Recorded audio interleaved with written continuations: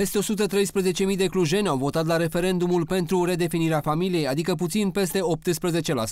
Dintre aceștia, peste 93%, adică peste 105.000 de persoane, au pus ștampila pe da, iar circa 6.600 de persoane au ales să nu fie de acord cu revizuirea definiției pentru căsătorie. Reporterii în Siena au urmărit tot procesul electoral pe parcursul celor două zile. Sâmbătă, referendumul a început cu stângul în mai multe secții de votare din cartierul Clujan-Mănăștur. Până la ora 8, urnele au rămas goale. Nu am avut până la această oră nici un uh, alegător prezent, deși secția de votare s-a deschis la ora 7. La ora 8 și câteva minute și-au făcut apariția de mână primii alegători. Am venit acum dimineață pentru că plecăm din uh, localitate mai departe. Noi suntem dintre cei mai, uh, un pic mai retardați, să zicem așa, dintre cei acuzați că am fi retroactivi. Până la orele prânzului, doar aproximativ 7800 de clujeni au ieșit din case pentru a vota. După amiază, între orele 13 și 16, procentul a crescut vertiginos. Circa 12.300 de persoane și-au exprimat opțiunea. Unii s-au decis pe ultima sută de metri. Nu eram convins să vin sau nu, fiindcă am văzut o grămadă de zvonuri și porcării în sensul că s-ar putea să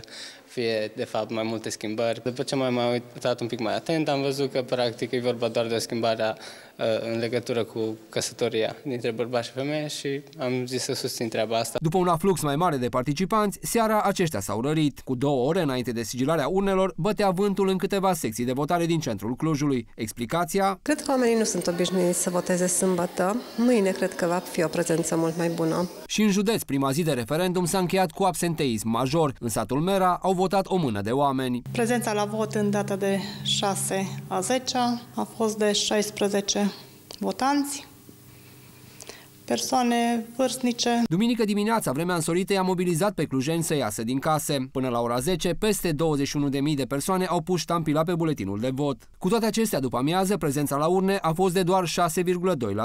Spre seară, lucrurile s-au înrăutățit din nou. Zeci de președinți de secție au venit cu sacii pe jumătate goi la biroul de centralizare a buletinelor de vot. Prezența la vot foarte slabă.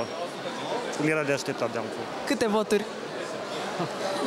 Foarte multe, 28. La ora 21 au fost la nivelul județului Cluj prezenți 18,61%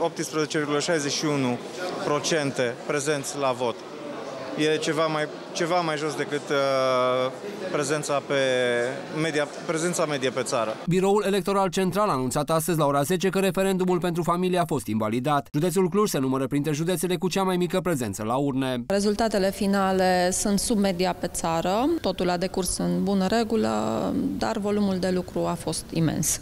La nivel național, la referendum au participat peste 3,7 milioane de români. Organizarea scrutinului pe parcursul a două zile a costat 163 de milioane de lei.